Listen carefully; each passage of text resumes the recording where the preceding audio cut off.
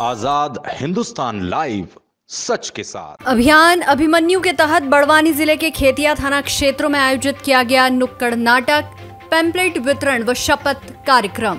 खेतिया, बड़वानी पुलिस द्वारा चलाए जा रहे विशेष जागरूकता अभियान अभिमन्यु का उद्देश्य समाज में लड़कों और पुरुषों को महिला संबंधी अपराधों के प्रति जागरूक करना है।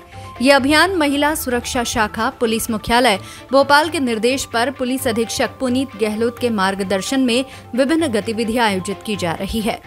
विशेष जागरूकता अभियान के तहत नवरात्रि पर्व के दौरान थाना प्रभारी निरीक्षक सुरेंद्र कनेश एवं बड़वानी महिला थाना प्रभारी सुनीता मंडलोई द्वारा भीमा नायक शासकीय महाविद्यालय बड़वानी के कैरियर सेल के छात्र छात्राओं द्वारा आज खेतिया स्थित नवदुर्गा उत्सव समिति के गरबा पांडाल नुक्कड़ नाटक के माध्यम से लड़कों, पुरुषों, महिला, बालिकाओं की सुरक्षा एवं महिला संबंधी अपराधों के प्रति जागरूक करने का संदेश दिया गया। एवं महिला सुरक्षा के संबंध में पोस्टर, पैम्पलेट वितरण कर अपने उद्बोधन द्वारा अभियान के उद्देश्य से अवगत कराते हुए गरबा पांडाल में शपथ दिलाई गई। मैं हूँ अभिमन्यु जैसे संदेश के साथ पैम्पलेट वितरित किए गए, जिसमें नशा, दहेज, रूढ़िवादिता, अश्लीलता, भ्रूण हत्या और लिंग भेद जैसे मुद्दों की जानकारी शामिल थी। नवरात्रि के दौरान गरबा पांडाल में छात्र छात्राओं द्वारा नुक्कड़ नाटक का आयोजन किया गया, जिसमें महिला और बालिकाओं की सुरक्षा के संदेश को दर्शाया गया। इस अभियान का मुख्य लक्ष्य न केवल महिला संबंधी अपराधों के प्रति जागरूकता बढ़ाना है, बल्कि पुरुषों को संवेदनशील बनाकर पूर्वाग्रह और रूढ़िवादिता से मुक्त, सकारात्मक व्यवहार विकसित करना भी है।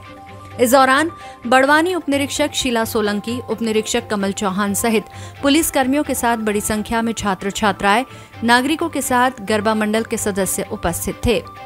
कार्यक्रम में मैं हूँ अभिमन्यु अभियान को लेकर छात्राओं में अत्यधिक उत्साह देखा गया। आज़ाद हिंदुस्तान लाइव के लिए खेतिया से राजेश नाहर की रिपोर्ट। हमें यह नाटक से यह शिक्षा मिलती है कि महिलाओं के ऊपर अपराध होने वाले उससे बचाव बचाव हो सके और महिलाओं को ऐसा महिलाओं के लिए क्या आप भी अभिमन्यु बनना पसंद करेंगे?